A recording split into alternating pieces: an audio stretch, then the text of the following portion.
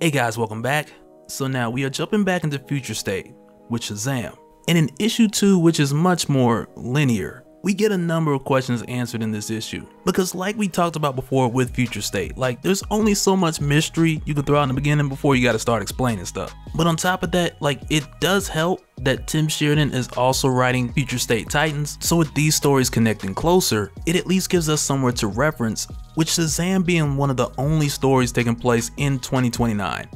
So let's get into it. But first, if you're new to the channel, be sure to subscribe to catch the spills every week, and don't forget to hit that bell up top so we can squat up in the comments for the first hour.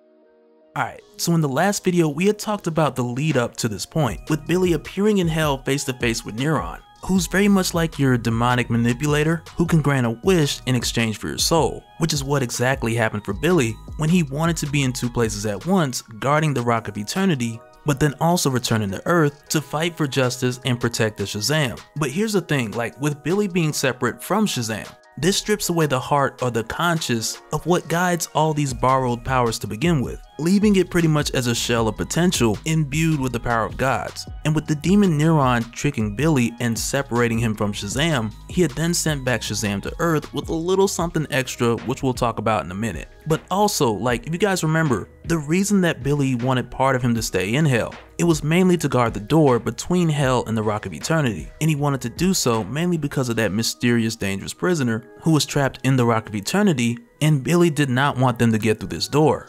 But it's also here we find out like with the way that Neron had set this up, like for one, Billy can't just say Shazam and become Shazam because usually when he does, he would borrow that power and then when he says it again, it will return back to the Rock of Eternity. But in this case, since Neron is pretty much tricked the spell, Billy's stuck here in the part of Shazam that would need a heart or an intention, or something to guide that potential, Neron has then replaced it with his own, with sending Shazam off with these illusions that would just be whatever Neron wanted Shazam to see, and with Shazam being a shell more or less of Billy's potential, which is what all the powers are anchored to. Like when Neron sends him all these illusions, he describes this shell as more or less just gullible, without Billy as a true anchor to discern what's right from wrong. But then it's here where we get a bit more information, although not specific, and I'm like 99% sure what happened in Titans in 2027 got us here in 2029. like 99% sure. Because it's here where Neron tells Billy that when he had trapped this prisoner in the Rock of Eternity, she had then pulled in Neron into this whole situation in order to trap Billy in this position.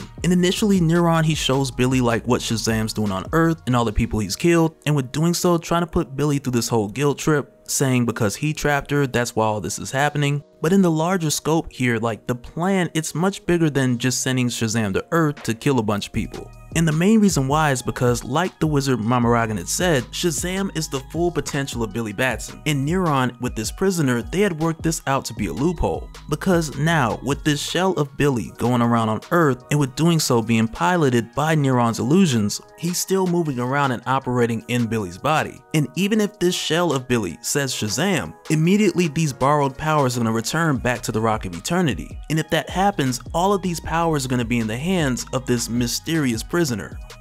So it's like you can tell like when Billy had trapped this prisoner, it was an act of desperation rather than something he had fully thought through. But from here we then jump back to the JLA bunker to where Vixen she's interrogating Shazam because at this point he's made it pretty clear that he's guilty of this killing spree. But even with this being the case, like they're still kind of on edge because they know that Shazam could destroy everyone else here with little to no effort. So even with him being in this interrogation room, there's still a lot of tension. But for the time being, their confidence more or less is in the fact that this room, like the walls of this room, they've been imbued with magic that's strong enough to hold Hercules. So for that reason, they're pretty confident that Shazam won't get out unless he says Shazam, then in that case, they're kind of screwed. But it's here where Vixen's holding the interrogation. She's asking him like, why did he kill Thunder, Ryder, Slade, Johns? And she asks him like, Billy, why haven't you spoken to your sister Mary? And also like, Billy, when was the last time you gave back your power? And like we've seen before, calling him Billy, it's, it's a trigger. And as a result, Shazam of course gets triggered and he just takes off through the roof, which apparently wasn't built to hold Hercules, just the walls.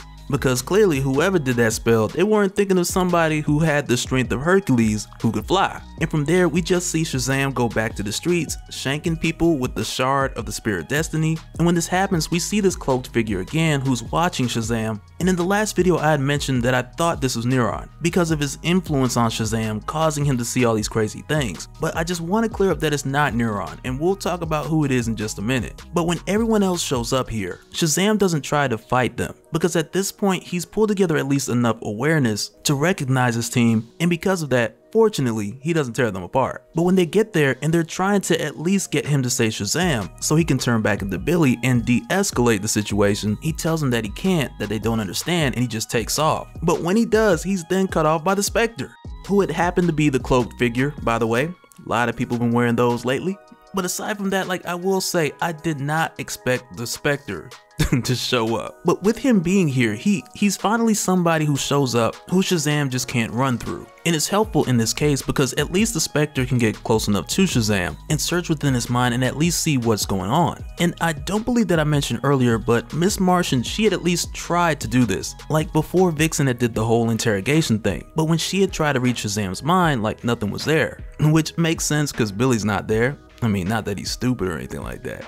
But Miss Martian's means of mind reading they were ineffective at getting through to Shazam. And with the way that Shazam's being influenced, part of him is the will of Neron and is constantly in conflict with what is left of the humanity of Shazam. But it's here where Shazam tells the Spectre like he doesn't see everything, like he doesn't know exactly what's going on here. Because prior to this point, the Spectre, he's seen what Shazam has done, and he senses that this is a shell of who he really is, but even at this point, the Spectre still hasn't seen the full picture. And when the Spectre tries to take a look inside, Shazam breaks his constraints and he tries to stop him, which is clearly the influence of Neron leading Shazam to believe that what he's doing is right. But even still, like this is the Spectre, so when this happens, it doesn't take much for him to peep into the mind of Shazam and see what is fully going on. And when the Spectre looks in, he sees Shazam putting the prisoner in the Rock of Eternity, which he refers to as a sacrifice, but then he also sees Billy's wish being granted by Neron and what it cost Billy as a result. But all in all, the Spectre, he pretty much sees the whole story. But even with seeing this, he's caught off guard and stabbed by Shazam with the shard of the Spear of Destiny, which was like the worst luck for the Spectre, because the Spectre doesn't have a lot of weaknesses, but he can be killed by the Spear of Destiny, which happened to have been around in this moment.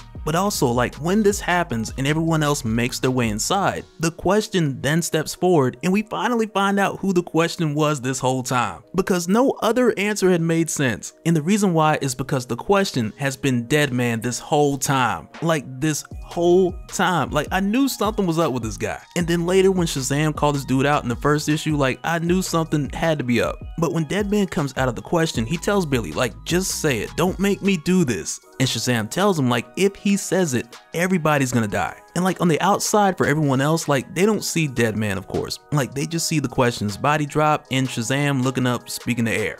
But when Deadman jumps out of the question's body and into Shazam, he makes him say the magic word, which immediately frees Billy. But remember, with Shazam saying Shazam, like this isn't good. Because with Billy's body borrowing all these powers, after speaking the word Shazam, they all then go back to the Rock of Eternity. And when this happens, Billy is yanked away from guarding the door, which now means that this mysterious prisoner is free to go. And with this happening and the Spectre dead, we see Neron tell her that she's free to enter God's mortal realm and consume without fear of judgment, which likely would have been done by the Spectre. And immediately after Neron, he's pretty much like, well, I did my part, can I go? and she's like, yeah, sure, but first, bow before your queen. And it's here we see that this mysterious prisoner was the Unkindness, who essentially is Raven from the Titans. And prior to this point, I only recall seeing the Unkindness like in Teen Titans Go, where Raven had to consume all these alternate versions of herself in order to get this immense amount of power to defeat her father Trigon. And it kind of feels like that's what she had to do to fight off the threat in 2027. But like I said, Shazam didn't think it through and now the unkindness has all of her power plus his and she's free. But on top of that, like to make matters worse, we also know from like recent issues of Suicide Squad that further off into the future, she's also released the seven deadly sins from the Rock of Eternity. So it's not looking good right now. But even with saying this, like that's hundreds of years, like over 800 centuries in the future. So with that said, she may be stopped here and unleashed again later on, who knows. But from the way things is looking now, this looked like 10 minutes later. but we'll just have to see how it pans out. And so now real quick, I want to give a special shout out to all the Patreons. Thank you guys for all your support. And for anyone who's new here who wants more information on how to support the channel, I got a link below to where you can go to patreon.com slash dopespill. But that'll do it for this one guys. Let me know your thoughts down in the comments below and we'll do it again on the next one. Alright, later.